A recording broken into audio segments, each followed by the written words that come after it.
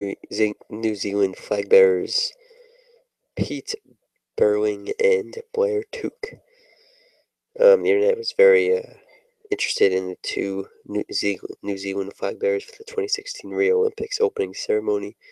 The four time world champions won the hearts of Twitter users everywhere. I think they're really attractive. Um, they both won silver medals at the 2012 games. They were wearing cloaks throughout the ceremony. That's pretty cool. Give me your thoughts down below. August 5th, 2016. Pretty cool stuff here.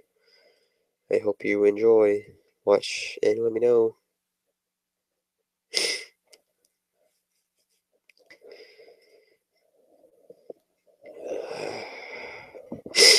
very, very very, very uh, cool stuff here. Sports and news vids coming at you with another video.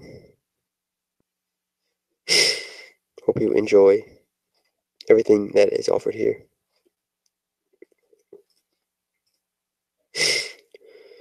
New Zealand doing a great job with these flag bearers.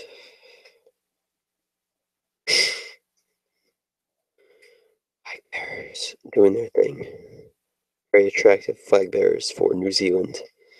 Really is. August 5th, 2016.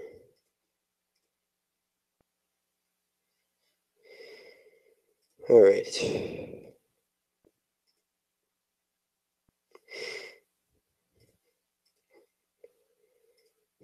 New Zealand. What a great country and their flag bearers making headlines.